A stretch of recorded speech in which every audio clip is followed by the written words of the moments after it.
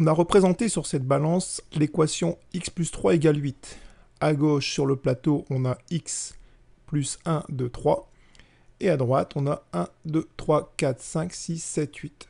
Pour résoudre cette équation, il suffit de retirer la même chose sur chacun des plateaux, à savoir 3 sur le plateau de gauche et 3 sur le plateau de droite. On obtient ainsi x sur le plateau de gauche égale 1, 2, 3, 4, 5. x égale 5 est la solution de cette équation.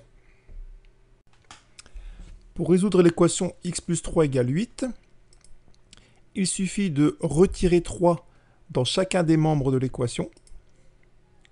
On a ainsi dans le membre de gauche plus 3 et moins 3 qui sont opposés. Il nous reste donc à gauche x et à droite 8 moins 3 égale 5. On a modélisé sur la balance ci-dessous l'équation 2x égale 8. Sur le plateau de gauche, on a 2x, et sur le plateau de droite, 1, 2, 3, 4, 5, 6, 7, 8. Pour résoudre cette équation, il suffit simplement de diviser par 2 chacun des plateaux. Effectivement, si je divise 2x par 2, il me reste 1x. Et donc de diviser par 2, ici, ce qu'on a sur le plateau de droite, c'est-à-dire 8. Comme ceci, et on s'aperçoit donc que x égale 4 est la solution de cette équation.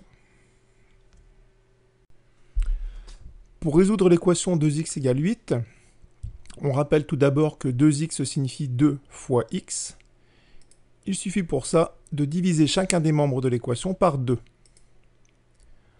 On peut ainsi simplifier la fraction qui est dans le membre de gauche par 2. Il nous reste donc x égale 8 divisé par 2 qui vaut 4.